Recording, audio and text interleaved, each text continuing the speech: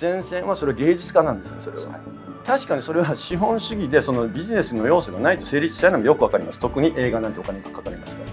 しかしそこを殺してしまうようなことがビジネスをしてしまったらそれは本末転倒だと思いませんか？ご存知の日本は余裕がなくてないです。30年間も給料が上がらない。まあちょっと言葉を選ばずに言うと芸術なんてやってる場合じゃないみたいな感じもあると思うんですよね。それは僕からす真逆だと思うんですよね、うんこうすれば日本は復活する、うんこうすればビジネスがうまくいく。こうすればなんとかかんとか。みんな言いますよね、それは全部戦略の話なんですよ。じゃあなんでそれだけの戦略がこれだけ溢れているのにこんなに変わらないのか。物語がないからなんですよ。日本人には物語がない。はい、ピボットの竹下です。今日のピボットトークのテーマ、日本の映画ビジネスをグローバル化するためにはです。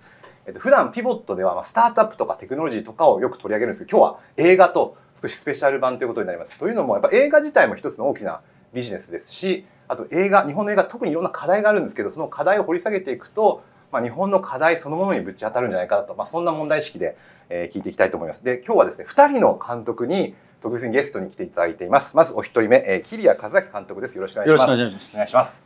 桐谷さんちょうど今この世界の終わりからという、はいいやー私も見たんですけど、あーそうですか。なり素晴らしい映画です。ありがとうございます、はい。よかったです。どどうですか今の評判とか？い。や評判もものすごく良くて、うんあのちょっとホッとしてるところなんですけれどもね、はい。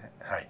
うん。なんかあの設定がアニメとか SF っぽいんですけどそこに陥らずに、あるいは日本映画によくありがちななんか単純な恋愛にはいはいはい。陥らずにすごく複雑な人間関係が描いたり気候変動の問題があったりしてはい、すごくいいなと思って。ああよかったです、はい。ありがとうございます。嬉しいです、はい、ぜひちょっとその辺今日の映画の話と同時にはい。国際的な経験もあるので、はい。日本映画今何が問題なのかぜひちょっと今日はズバリと聞いていたいなわかりと思います。ました。よろしくお願いしよろしくお願いしま。ます。はい、二人目はえっと松本優作監督です。よろしくお願いします。松本監督はウィニーっていう映画で、こちらも私見たんですけど、本当に素晴らしい映画で、はい、どうどうですか今のと評判は？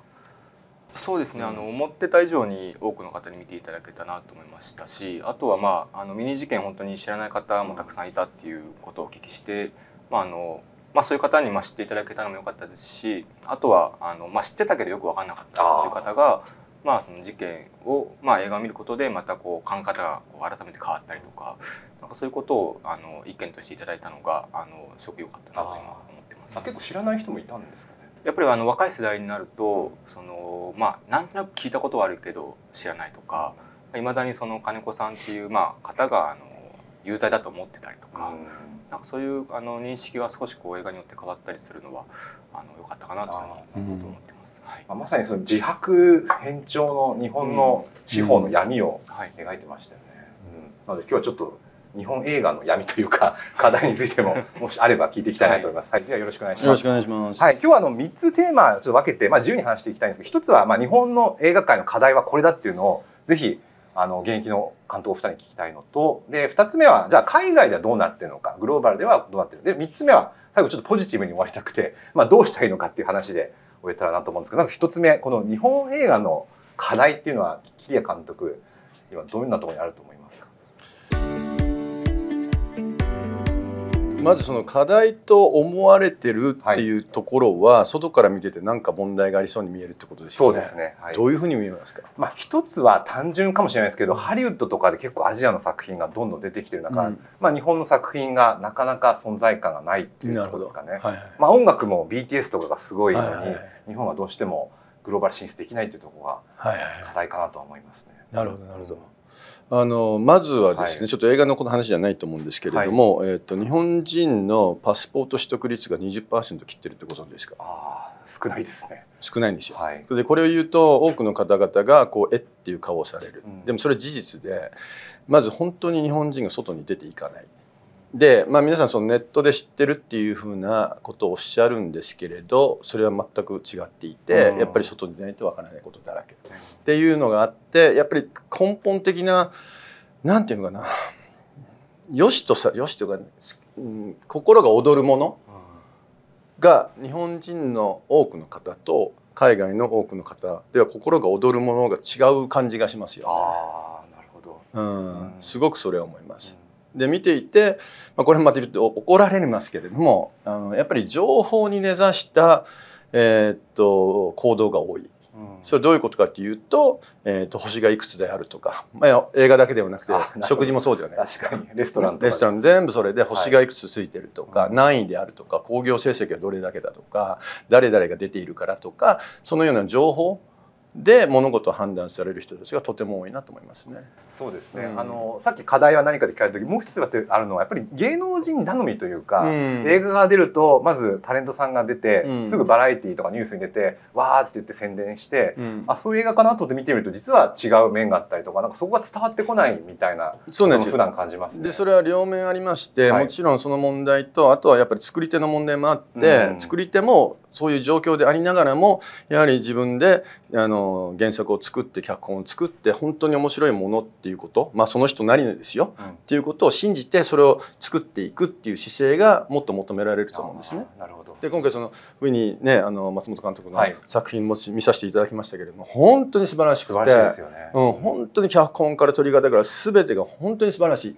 本すごいで、まあ、確かに大ヒットしてるんだけれどもじゃあそれが今日本でナンバーワンか興行ナンバーワンかってそうでないんですよねまだね。あ全然そうですね。でね。そこなんですよ。なるほど。やっぱそこがやっぱり問題。うん。問題っておかしいな。だからそれが文化としてそこまでいずれたどり着くと思うんですよね。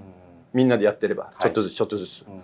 しかしそこにやっぱりどうしてもそのなんか構造的なものなのか文化的なものなのかっていうのがあるように思います、ね。なるほど。それは観客の方がまだついてこれないのか、それとも情報が伝わってないのか。だからそれは両方だと思うんですよ。両方ですか？そのに鶏が先か卵が先かの話で、観客の方々のがそのそういうものを求めるっていうあ文化？うんしかしそれに対してそういうものがいっぱいなければいけないっていうものがありますからやっぱり作り手と見る側両方のことだと思いますけどね。なるほど。うんあの桐谷監督の「世界の終わり」からもはい気候変動とか、はいあとまあ宇宙のいろんな宇宙が存在するみたいな結構海外で話題になっているテーマが多いと思うんですけどそうですね。はい。日本のニュースだとちょっとその辺はあんまり取り上げられなかったそうねなんですかね。ちょっと僕にテレビ見ないでわかんないから。アメリカにいら っしゃいますただやっぱり僕はその日本人に向けてとかアメリカ人に向けてとかそういう考え方で物事せ作品作ってないんですね。うん。でたまたま日本で撮影してたまたま日本の俳優さんが出てくださってるっていうだけの話で物語書くときにはもう全世界の人たちが見て理解していただけるものっていうのは思って書いてますけどね。なるほど、うん。松本監督はどうですか？日本映画の課題。で本当にあのキラさんおっしゃった通りだなと思うんですけど、そのまああの、まあ、ビジネスっていう意味でも考えるとそのまあ多分まあ多くの映画会社が一応そのお金を儲けるためにちょっとあると思うんですけどそれがなんかこう、まあ、海外の場合はそのそれをするためにはクリエイティブが大事だっていうのが一番よく分かってらっしゃるなっていうのを思うんですけどほど。なんか日本の場合はやっぱりその前にクリエイティブの前に担保みたいなものが上に来ちゃっているのが一つこうすごく大きな問題なんじゃないかなと思ってましてなのでこう、まあ、ストレンジャーシングスとかもそうですけど、まあ、俳優も、ね、誰も知らなかったりとか、監督も誰も知らないとか、まあ、A24 とかもそうかもしれないですけどなんかそういうこう面白いから撮らせるみたいなよりかはなんとなく有名だからとかみんながしてるからっていうところがやっぱり日本の場合は一番先に出ちゃってるのかなと思いますしあとはあの、まあ、これはあの最近、えっと、映画業界じゃなくてですね、まあ、世界で活躍してるクリエイターの方のとお話ししたんですけど、まあ、これはあの桐谷さんもいろいろおっしゃってたんですけどその、まあ、絵の具で例えるとこういろんな絵の具を使った方がいいのに、まあ、日本の場合こう少しこう少ない絵の具で、うん。まあこうまあ、スタッフとかも、まあ、海外の人とかその俳優さんもそうですけど、まあ、いろんなこう絵の具を本当は使いたいのになんか日本の場合はなんとなくこうそこにこう手を出してないというか、まあ単純に行動しないっていうのも、うん。まあ、単純にすごくおっしゃられてたんで、まあまあ、その通りだなと言いますか、うん。なんか日本人もこうなんとなくこう小さな島の中で収まってしまってるような、うん、作り方っていうのが、うん。なんかそこは僕も意識を変えながら別にその外に出るのがいいとか日本にいるのがいいとか、そういうわけじゃなくて、うん。もう少しこう広い視点でものを作っていく必要があるんじゃないかなと。絵の具ってどうですか？手法とか俳優さんとかそうですね。撮り方とかそういうことあのですか？日本の 俳優だけじゃなくてもう少しこう世界で活躍してる俳優さんだったりとか、まあ、スタッフさんもそうだと思うんですけどあのなんか小さい場所でこうなんか少ない絵の具であの作る必要はないんじゃないかみたいな。あそれをスタートアップとかありとあらゆるものに言えると思うんですよ。ーはいその本当におっしゃってるみたいに人間って世界中にいるわけで極端なこと言うと80億いるわけじゃないですか。そうですねそれ日本は1億だとした場合に、はい80分の1の、絵の具を使ってるわけですよ。なるほど確かにそうですね、うんスタッフもキャストも、うんなんなら言語もですよね。はいでそこをちょっと考え方を変えさえすればもう今の時代どこにでも行くわけじゃないですか、うん。その作ったものが、っはい。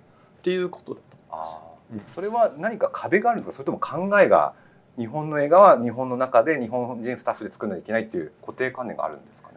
なんかどこかにあるっていうか多分外に出るのが意外と億劫になってるんじゃないかなとはああさっきおっしゃったようにうん。パスポートを持ってない人も多いですもんね、もうこれははいこれもまた映画だけの話ではなく、やはり閉鎖的です。どうしても閉鎖的。で本人たちはそうやってないつもりなんですよね皆さん。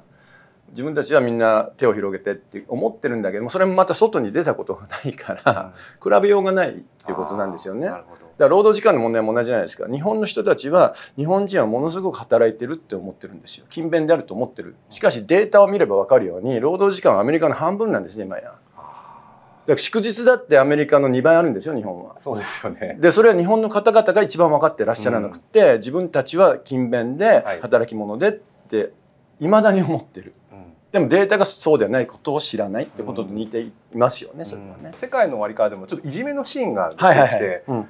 なんか全然変わってないなと思ったんですよ学校。変わらないでいろいろあの今の高校生とか中学生に聞くとまだ変な校則があったりとかもうすごく閉じられた世界でもう学校が全てで先生が全てみたいな世界ってまだ残ってますよね。いや僕それはもう本当にずっと言い続けてきたことなんですよね。なんでこんなに変われないのか、うん変わらないのか。はいでまあピボットもそうだしありとあらゆる番組でそれに対しての処方箋たるものはいくらでも語られるじゃないですか戦略として、そうですねしかしそれだけど何も変わっていかないでいまだにファックスマシンを使っているようなそうですね。国なんですよ。はい。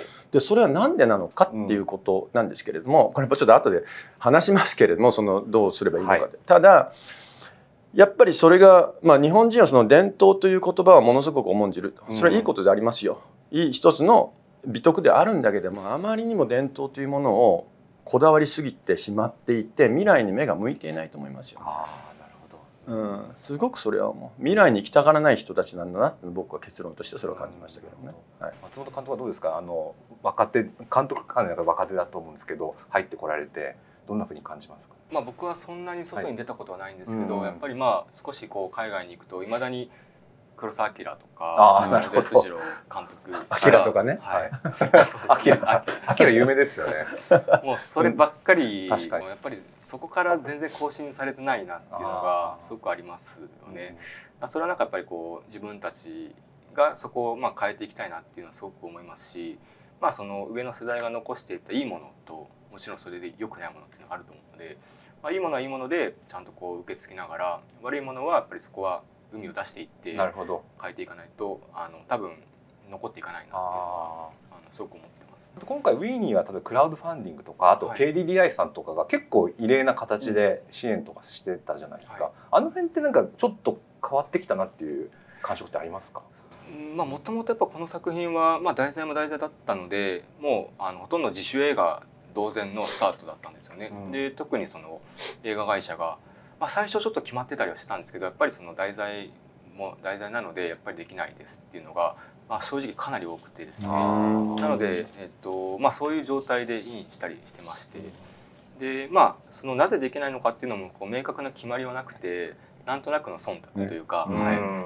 多分やめといた方がいいんじゃないかっていうようなその考え方。あでそれでやっぱり結局なかなかうまく進まなかったことがすごく多かったんですけどただまあ KDDI さんとかはどちらかというとこう映画界じゃない会社ーうん。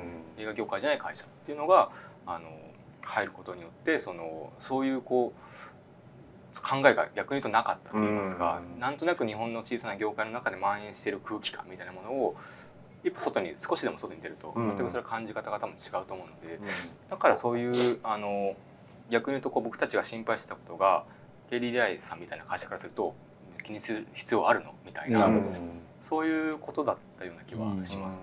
キリアさんそれなんでなんですかね？海外だとすぐ社会問題とか、うん何か政治的なテーマが映画になったりするじゃないですか、でも日本はなんか少ないちょっと勝手な印象なんですけど、えーはい。例えば、はい。ロックコンサートで政治の話をしたら政治の話を持ち込むなって言われるっていう、そうはい。なミュージシャンが何言って非常に滑稽ですよね、はい。まあ、もともとロックっていうものは政治とかそこら辺に対する反発のための音楽であるっていうことの歴史をまず理解していない人ですがそれだけ多いということが一つ。でやはりどっかでその戦争に負けた時のトラウマがいまだに引きずってるんじゃないですか。負けてしまってそれに対していろんな傷を負ってそれで生きてきてあり、まあ、そのその後にまあ学生運動とかいろんなものがあってそれも結局幻で終わっちゃって結局その思想というものに対してのアレルギーがものすごく高いですよね。でどっかでその社会問題を語るとかそういうものが鬱陶しいという風潮になってしまっているとそれも80年代ぐらいからの話だと思うんですけれどもでそれをないがしろにしたまま、まあ、なんとなく笑えればいいよねと。でその日本の人たちと話をしていて僕が一番違和感を感じる言葉があってそれは「面白い」っていう言葉なんですよ。あ面白い、うん、もう皆さんが何を見ても何をやっても何を食べても何でも経験に対して面白い面白い 面白いね面白かったね。あこれ面白い面白い面白いってみんな言う。つまり解像度がめちゃくちゃ低いんですよ。解像感情の。で面白いっていうのをアメリカで英語で言っちゃ interesting ですよね、はい、それでバカにしてる感じなんですよね。誰か僕の映画見て「Oh, that was interesting」って言ったらふざけんなって感じになりますよね。軽い感じ軽い感じ。あ、まあよかったんじゃない？っ てなるほど、そういうノリなんですね。っていう、だから全てに対してそこまで真剣に向き合わないんですよ。日本の方々って。これはもう怒られるかもしれない。しかしこれは事実だと思う。何事に対してもなんとなく笑って済ませましょう。例えばおさお食事をしててもお酒を飲んでても何か真面目な話になるとまあもういいよそんな話はってなっちゃう。そこもその場が楽しければいい。しかし楽しいのかっていうと本当の楽しみはそこにはない、うん、なんとなく楽しいを装っているっていう。でそれの象徴として面白いって言葉がもう本当に使われますよね。でもウィニーだって面白いって言われても面白面白い映画じゃないし。そうですよね。面白いとは違いますよね。ですよね、はい、でもよく聞くでしょ？面白かったです、うん、ああよよく言いますね。みんながそれなんですよ、うん、だからそれくらい日本人のいわゆる感性というか感情の解像度が低すぎちゃうでそこに感情にすらアクセスできなくなってしまっているってことはものすごく大きい、うん、そうなると何が起きるかっていうともう損得感情ですよね。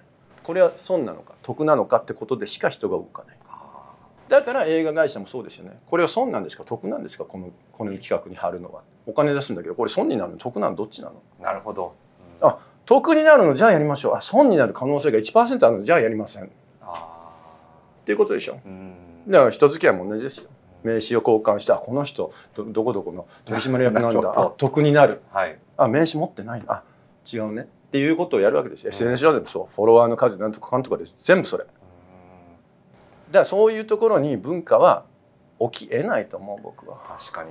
でこれも言うとまた怒られるんですかね。いやでもどんどん言ってください、うん、いやすごくぐっさっときます。ね松本さんどう思いますか、そうですね。僕も本当あの今お客さんのそのレビューとか見ててもすごく思うんですけど、はい、そのやっぱりみんなそのみんなが面白いと思うから面白いと思うみたいなその 自分の価値観とかが結構ないなくなってる人がすごく多いんじゃないかなと思いました。それは先ほどの解像度の話にもつながっていくと思うんですけどこうみんながすごくこう批判してたとしてもですよ。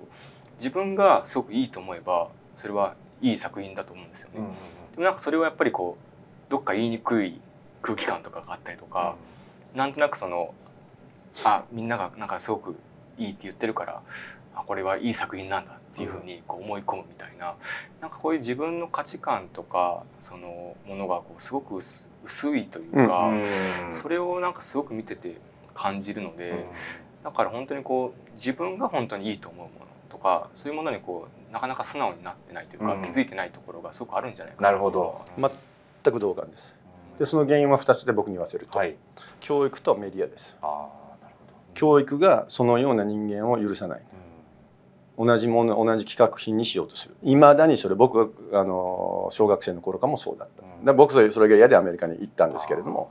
でそれがいまだに終わってないっていう問題が一つ、はい、あとメディア、メディアというものがお面白いっていうだけで何もかも作っているニュース番組ですらそうです。本当の本来では真実を伝えなければいけない報道番組ですら、はい、面白いっていう要素を取り入れようとしてタレントさんであったりとかお笑いの芸人さんであったりとか、ね、全く関係のないスペシャリストでない人たちがそこに入れ込んで、報道という神聖なることをやろうとする、そうでしょ全てにそれが入り込んでしまっている。なるほど。だから誰も真剣にならない。なんなら真剣になったら暑いですねとか。あ重重重たいちょっと揶揄する感じになりますよね、うん、そうなります。だからそんな人たちに何が作れるんですかって僕は言いたい。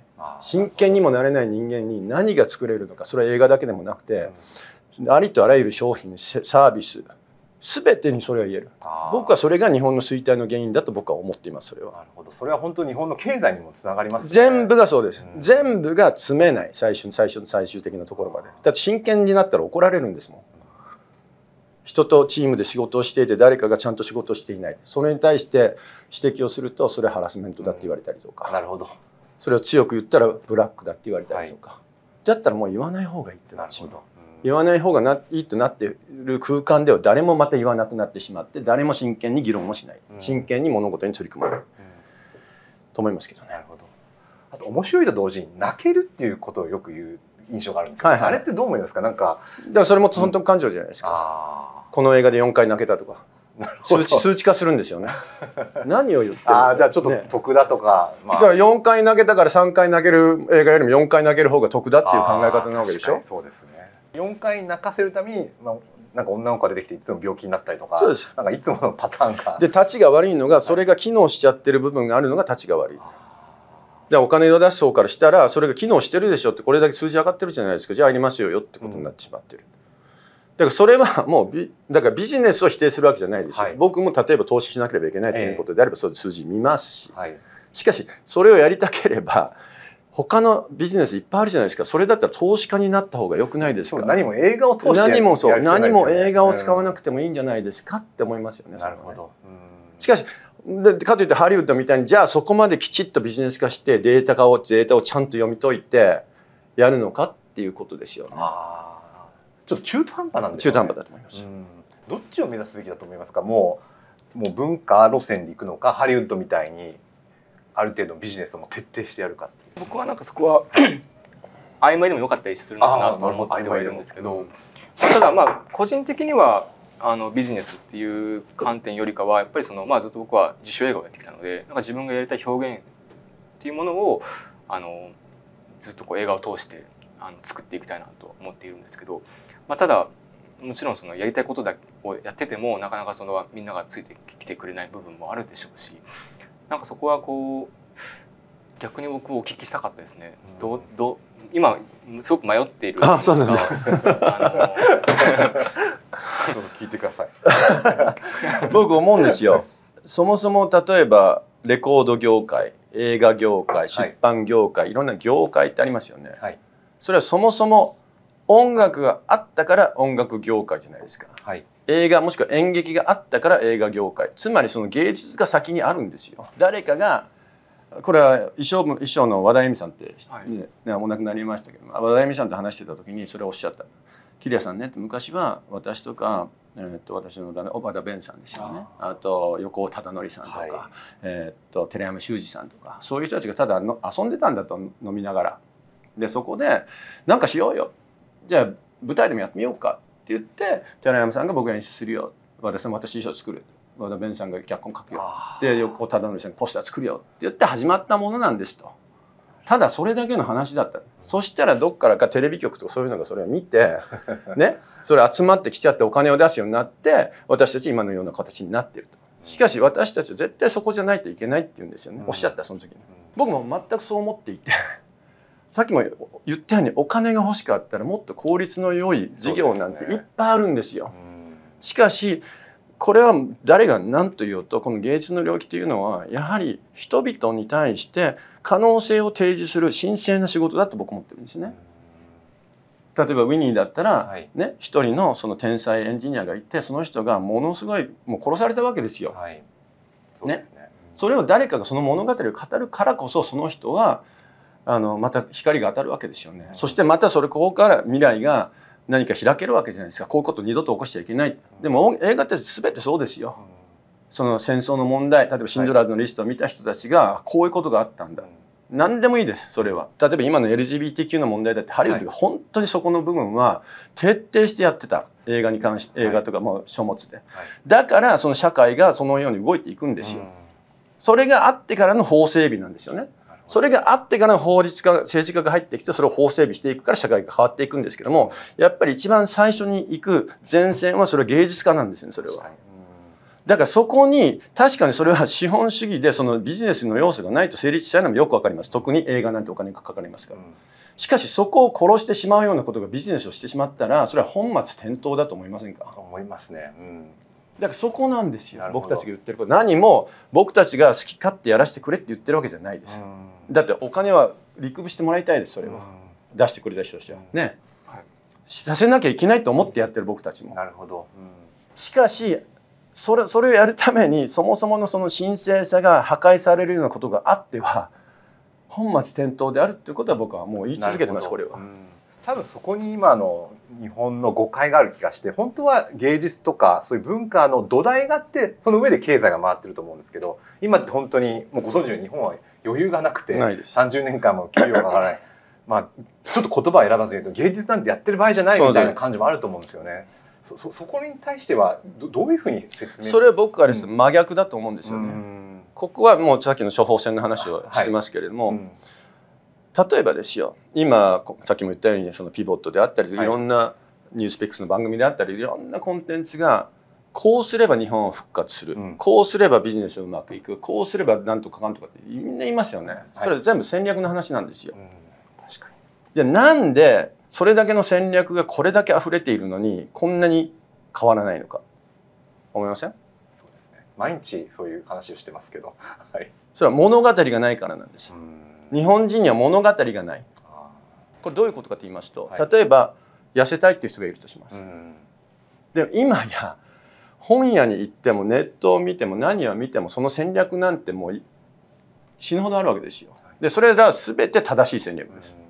簡単な話です炭水化物を抜くとか、はい運動するとか、うんそれで痩せられますよね。はいでもなんでそれだけの人たちが痩せないのかってことですよ。痩せたいと思っているのに。うんうんでその人たちはどうせ私がやったってとかどうせ痩せたって私どうにもならない人とかうん。物語がそんな物語になっちゃってる。なるほど。うん、でよく考えてください。戦後からバブルまでの日本人っていうのはそれがいい悪いは置いといて物語があったんですよそうですね。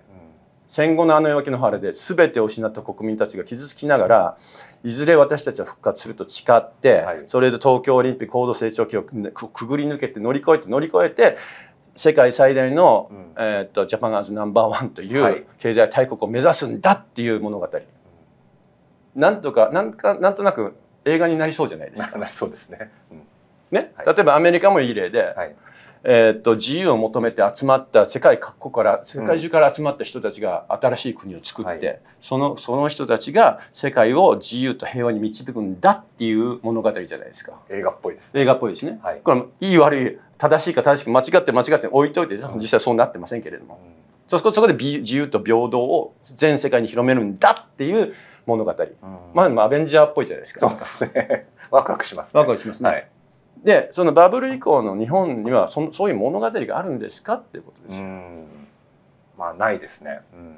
思いません？はい。物語がないからなんとなく楽しければいいんじゃない？うん。なんとなく面白くいきましょうっていう物語。はい面白ければいいじゃん。うん。じゃあその面白ければいいじゃんっていう物語を見に行きますか？そういう人たちの。まあちょっと SNS で流れてきたらちょっと見るぐらいですけどあ映画に行きます映画と映画としてはあんまり見たくないかもしれないですね。だからそこなんですよ。うん。だからさっきおっしゃった、はい。芸術なんかいらない。うん。しかしその芸術があるからこそ芸術的発想ですよね。物語があるからこそそれが原動力となって経済も発展していく。それは今の中国はそうですからあれだけボロボロにされて外国の侵略によってボロボロにされた国民が中国4,000年の歴史を持っている国民がもう一回中華のあの夢を実現させるんだって物語でここまで来てるわけじゃないですか、うんそう思いません？そうですよね。まあスタートアップもそうだと思うんですよね。スティーブ・ジョブズってなんか映画の主人公みたいじゃないですか。なんか物語を見てるんでしょうね。そうだからそれが国民としてのうん物語が必要なんです、あそれは誰もそれは語らない。それ。ーそう考えると今この日本にこそ映画が最も必要な時期なんじゃないですかね。映画というか、ありとあらゆるメディアの問題だと思う。う。だからテレビでやるドラマもそうだし、はい。映画もそうだし、うん。そのようなことに映画会社ではなく、うん。KDDI さんがそうしてくれたように、うん。それを思う経団連でもいいですよ。NTT でもいいそのトヨタでもいいけれどもそういう人たちがもっとそれを理解して、うんそこにお金を出していくなりサポートするっていう仕組みができれば日本は変わると思います。確かに、うんなぜならば今 CM はもう機能してないことは誰も分かってるそんなことはうん。機能してないんですよ。でそこの CM に何億円も使う使うぐらいだったら一本映画作った方がよっぽどよくないですか？確かにそれはすごくあの、まあ、ちょっと軽い言い方かもしれないですけど、うん。企業イメージが上がるしあこんな映画をサポートしてるんだってことででかなりブランディングになりますそうです、ん。そういうことです。それをやれやってそこにきちんと,、えー、と作り手も応えるようにあ作っていく。で作り手もそうですよ。お金だけもらってやっちゃった映画撮っちゃってよ。じゃあダメだし。だから両方いろんな人がやっぱりここはあの問われてると思うんですよね、うん。今のあり方を。今の経営者って映画とか見てるんですかね？見てますよ。だから今回「世界の終わり」からは2社の,、あの企業が協賛ですからね出資じゃなくて、はい。協賛していただいたし。うん。それに対して僕はあのその2社の方々に最大のメリットがあるようにこちらでもそういうふうに組んだし。うん。だからうちはそのリクープラインがものすごく低いんですよねそれ。ああなるほど。だからこういう映画が撮れる。なるほど。ご存知のように起業家スタートアップの人たちの芸術家なんですよねこういう社会を見てみたい、はい。こういうことしたら世の中良くなるでしょ、うんっていうことは僕たちが思ってることと変わらないんですよ実は、うん。それを彼らはビジネスという絵の具で作る。作る。僕たちは光と音という絵の具を使ってやる。うん。だから実際話してみるとものすごく話は早いんですよここは。あなるほど。はものすごく早いですね。なぜならば僕はいつも CM も撮ってるから、はい。い、つも言われてたの。そういう人と食事に行くと「桐谷さんもっとお面白いことできなかったんですか?」えちょっと待ってくださいよ。なるほど。えそっちが言ったんじゃないの?」それ意外ですね。もっと制そこには限をかけるわけじゃないなぜならそこに代理店っていうものが入ってるからなるほど。中間業者という人たちが入っているからそこでもいろんなものが濁ってしまう、それを一回なしにしてトップ同士できちんと話をして私はあなたのためにメリットを共有します。が提供します。あなたもこちらのためにメリットを提供してください。50-50で私は下請けではありませんとも今回言いました。なるほど。パートナーでそれでよかったら一緒に組みませんか？うんでそれにやるっていう人たちいっぱいいらっしゃると思う。なるほど。しかしその代わり作り手側ももっとビジネスマインドを磨かなきゃいけないし、そういう人たちきちんと数字の話もできるようにしなきゃいけないしこれこれこういうふうなメリットができますよってことを、うん。プロデューサー任せではなくて、うん。やっぱり監督自らがそれをやるべきだと思う。そうですよね、うん。起業家が投資家にピッチをするみたいなそういうことです。そういうことです。んだからそう合同合ベンチャー合同ベンチャーっていうんですか？合同に何かをするってことですよ、今日。ああ面白いですね。それが僕は未来の姿だと思ってその仕組みを今回の「世界の終わり」からでは提示しているつもりです素晴らしいですもう本当に理念とか世界観に共感してっていう、そうです。そこに中途半端になんか委員会とかなんか代理店とか入っいちゃうとやだから僕はその委員会はい。を否定するわけじゃないんですよね、なるほど。すごく委員会って皆さん悪口を言うけどは い僕は今まで委員会で悪い思いしたこと一回もないんですよ。うんしかしやっぱり時代も変わっていくことであってしかしなぜならば委員会の彼らのこともちゃんと考えてあげないとだって彼らだって出したお金が戻ってきてほしいじゃないまあですか、そりゃそうですよね。あのそこもきちんとやっぱり理解してあげないと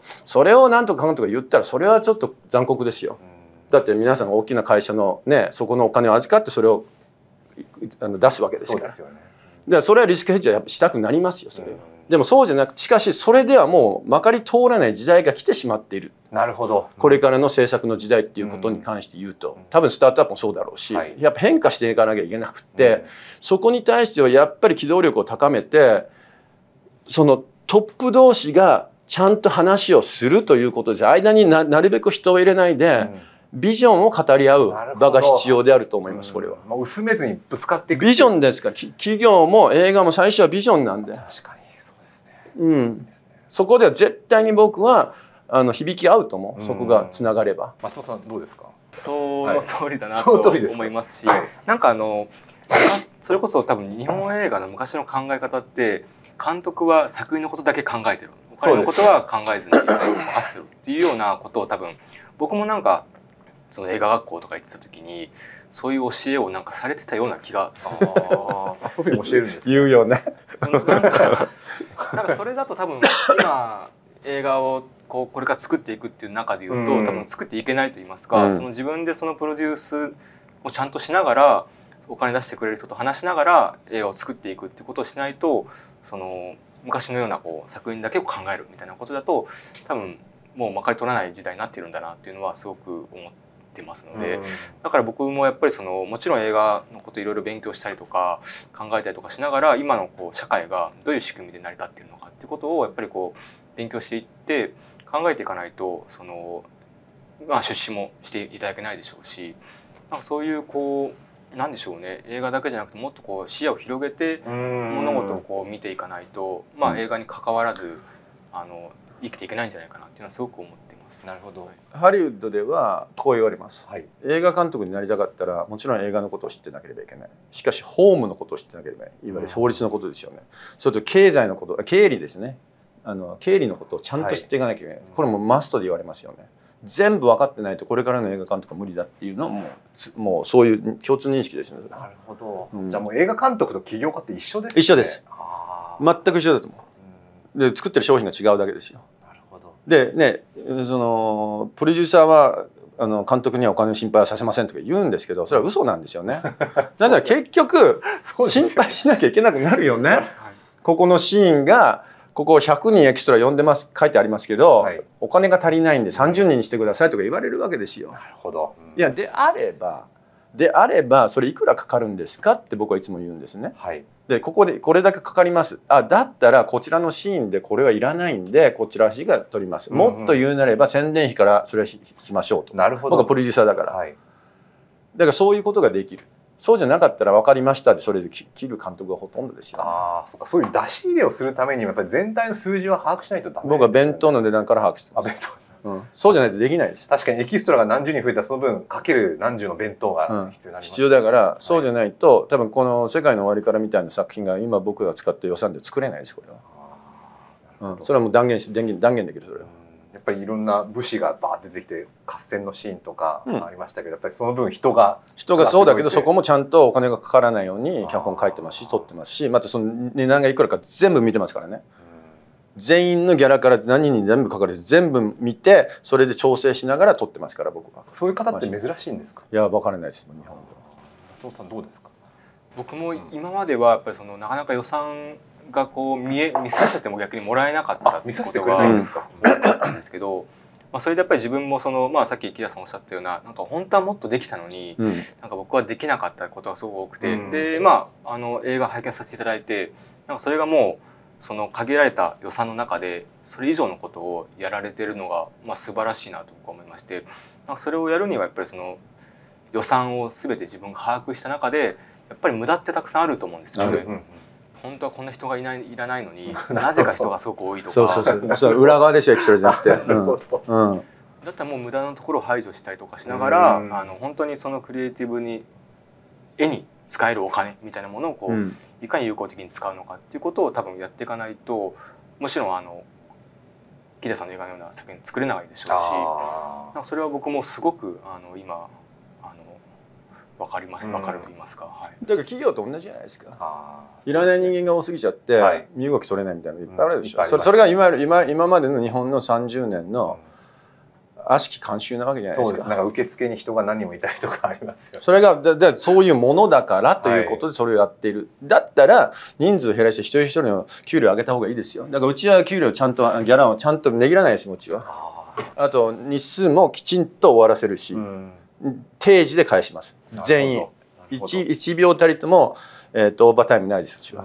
押しませんそれは。ネット X に関わらず海外のその配信サイトっていうのはいっぱい,、まあ、いっぱい出てきてる中で言うとまあ僕は監督の立場から言うと今はすごくその僕らみたいなその、まあ、これからの世代で言うとすごくチャンスだなっていうのはなんですね。思いますし。それは映画だけじゃなくて いろんな企業がそうだと思うんですよ業界が。どっかでなんか競争の原理が働いちゃって、まあ、いいですよ競争するのはいいんだけど 助け合いながらだって競争できるじゃん。ゼロサムじゃないよって僕すごく思うんだけどそこなんですよ。そこが圧倒的に僕が見たアメリカの業界と日本の業界の違い。映画業界とビジネス業界もつながりましょうよって僕はつ常に言ってるそれは。ドアを開いてっていう。みんな業界同士のつながりもかわもう関係ないからつながっていこうよ。みんなでつながっていこうよ。とにかく中抜きの人たちなくしちゃって 中間業者なくしちゃって。ね。いやそれは言うべきことだと思う。これみんな分かってることだから。しかしそこを言わないから変わらない